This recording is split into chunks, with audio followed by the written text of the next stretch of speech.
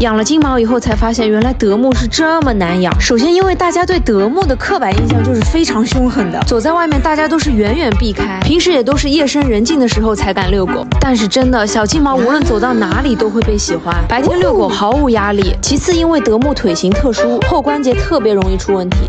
平时都要努力呵护，并且普遍德牧肠胃不好，特别容易窜稀。那金毛呢？大部分都是身强体壮，聪明体贴，平时基本上不需要对它额外操心。肠胃可以说是铁打一般，养它这么久，平时窜稀的次数也是屈指可数。最最最头疼的是德牧都非常挑食，普通的粮食吃了一阵子之后就要换着吃，不然就开始跟我玩绝食。金毛就不一样了，酷酷炫饭。菠萝包平时吃的最香的就是疯狂小狗小耳朵冻干夹心粮，里面有四种冻干，每颗狗粮都有夹心。德牧这么爱挑食的狗狗都爱吃，更别说金毛了。奶黄包是既热爱又执着，所以你们理解了吧？金毛相对于德牧来说实在是太好养了。我真的会谢，今晚就在你床上拉臭。